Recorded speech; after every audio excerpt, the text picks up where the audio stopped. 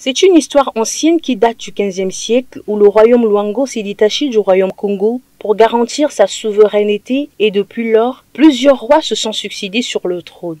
Les notes historiques du XXe siècle font référence du passage de plusieurs d'entre eux au trône. Ainsi, à partir de 1900 jusqu'à nos jours, se sont succédés. Mweluemba Lungombi, il régna jusqu'en 1906. Il fut un membre de la lignée royale Gonzi. Mwelemba Kasumam Tata, il atteint le degré suprême de Malwango et fut un membre de la lignée royale. Katmwe Poiti II, encore appelé Mwe Katmatu, en raison de son éloquence, il monta sur le trône en 1923 et fut destitué en 1926. Il atteint le degré suprême de Malwango et fut un membre de la lignée royale Kata.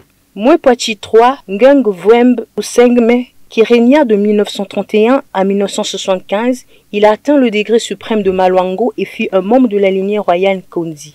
Après la mort d'Homo Poiti III, la royauté est abolie et restaurée en 1991 lors de la conférence nationale. Mwetati Ier, qui régna de 2000 au 11 août 2007 sous le nom de Mwe Maïlu. Il fut un membre de la lignée royale Konzi. Mwe Makoso IV, intronisé en 2009, il est mort le 23 décembre 2020. Il était membre de la lignée royale Konzi.